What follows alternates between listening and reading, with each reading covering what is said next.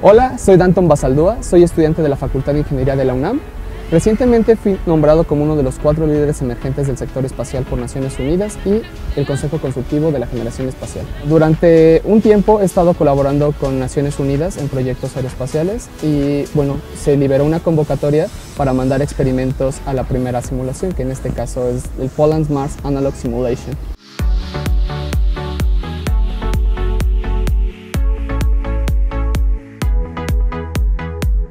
Además, tengo el honor de representar a la UNAM en la primera simulación análoga de la Agencia Espacial Europea en uno de los proyectos que se llevará a cabo en Polonia. Una simulación análoga es un experimento que se trata de emular el clima espacial, pero en la Tierra. Evidentemente, por las condiciones que tenemos, nunca va a ser exactamente igual, pero tratamos de emularlo lo más que se pueda.